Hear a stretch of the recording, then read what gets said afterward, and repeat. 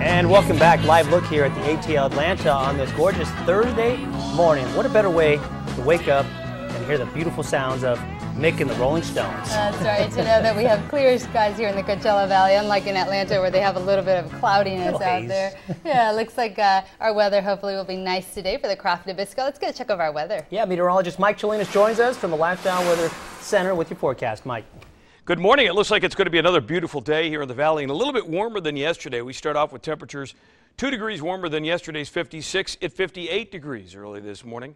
It's 30 at Big Bear, so almost the freezing mark already. And temperatures in the upper 40s, Beaumont and Banning 56 in Morongo Valley this morning. 77 is where I think we'll be by lunchtime today, and then more than likely about 85 for the afternoon high. Again, it was 83 yesterday. We'll see a mix of high clouds and sunshine, but a docile day weather-wise for us. Northwest winds up to 11 to 22 miles an hour by day's end. High clouds and warmer for the valley today. 87 at Oasis, 87 at Mecca, the same in Thermal and Indio. 86 La Quinta, Bermuda Dunes, Palm Desert, 87, Thousand Palms, and 84 degrees up at Desert Hot Springs later today. You see a weak front that's washed down to the south and east of his next system up the pike. It'll affect us for this weekend, but not today. 87 tomorrow, lots of sunshine. 84 on Saturday. The winds build.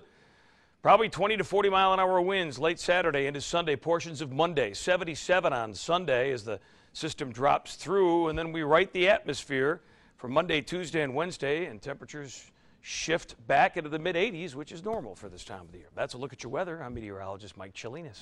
85. Thanks so much, Mike. We'll take that. Wonderful. Okay, well, it's now 13 minutes after the hour. And here's what's happening